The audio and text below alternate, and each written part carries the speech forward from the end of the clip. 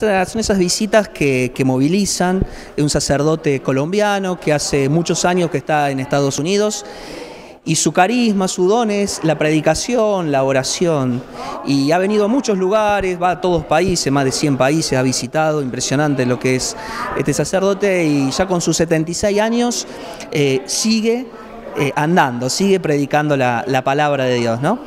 Y bueno, una gracia que venga aquí a Ordóñez y aprovecho también su, eh, su disposición y le agradezco para hacer la invitación a, acá a Belville y a la zona, los que quieran participar, este próximo sábado, 29, 28 de abril, a las 2 de la tarde.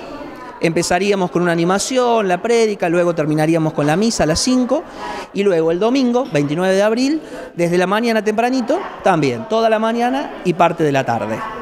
Este sacerdote viene precedido también de una eh, fama como cura sanador.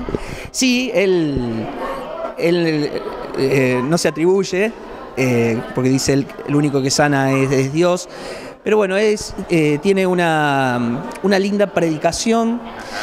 por ahí siempre el mensaje es siempre el mismo de Jesús.